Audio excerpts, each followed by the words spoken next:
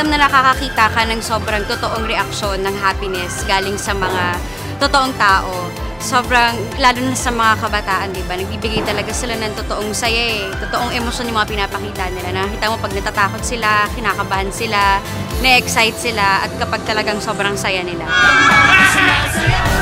Galak na galak talaga yung puso ko na makita yung mga bata na masayang masaya. Naniniwala ako na dapat talaga nakaka-experience sila ng mga ganitong bagay. Simple joy, simple happiness would mean uh, so much to them. Ako, I'm so glad na nakilala namin si Anisha kasi just by meeting her, parang mas gusto mong ma-appreciate kung anong meron ka na. Yung little things, the simple things, truly are the ones that can make you happiest.